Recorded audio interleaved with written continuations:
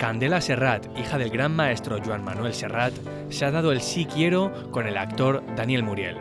Así lo han mostrado los dos intérpretes en sus respectivos perfiles de Instagram, donde han publicado dos fotos en las que se muestran muy sonrientes tras haber oficiado su relación.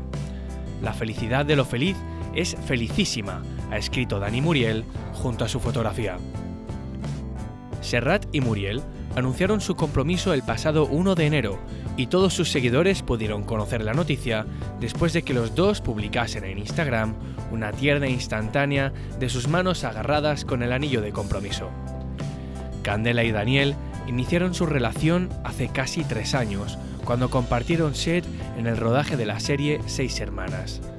Desde entonces se han convertido en una de las parejas de intérpretes más consolidadas del panorama nacional.